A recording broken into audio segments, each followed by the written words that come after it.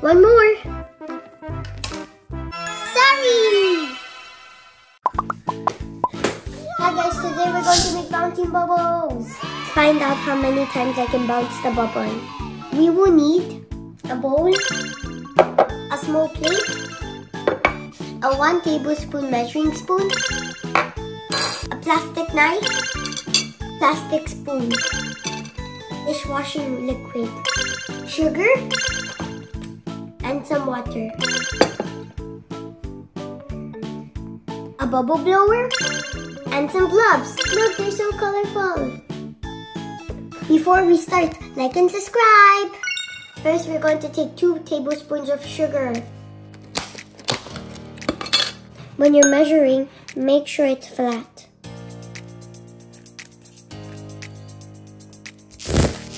Here it is. Next, we're going to put four tablespoons of water. One. Two. Three. Some more.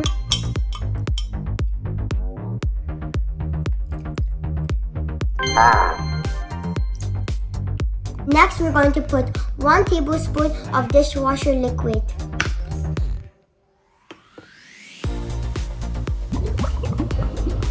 Make sure it's flat.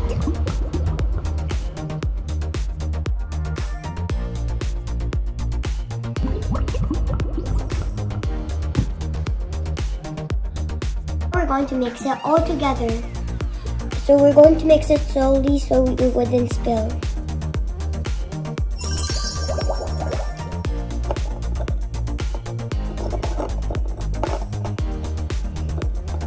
Let's use the plastic spoon. Right now we're going to make this sugar dissolve. In other words, it's going to disappear. Do do do do do do do. Almost there. Look, it's almost gone. There you have it. This is so exciting. Time to wear the gloves. Time to wear the gloves. Uh-oh. No, it's the wrong way. No. Here Oh. Try it.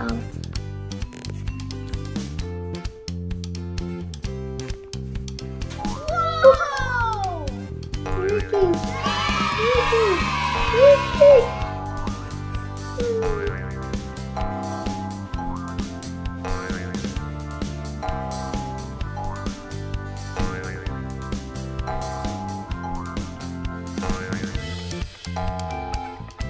I'm going to try two hands.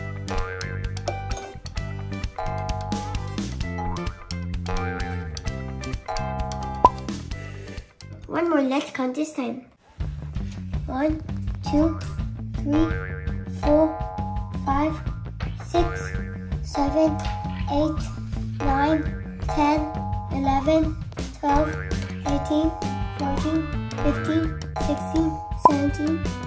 I reached up to 17! Did you like that? Like and subscribe for more experiments. See you! Time to bounce!